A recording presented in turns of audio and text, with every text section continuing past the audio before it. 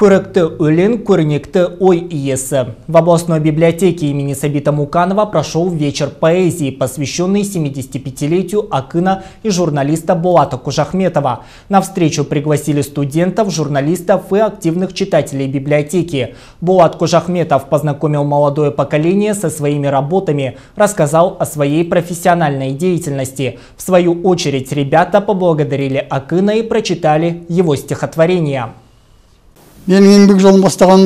Свою трудовую деятельность начал в 1968 году. Самое интересное то, что я поступал на зоотехнический факультет в Алматы. Однако на третьем курсе перевелся в Казгу на журналиста. Так и начался мой творческий путь, писал на разные темы. Я рад, что сегодня мои произведения читает молодежь.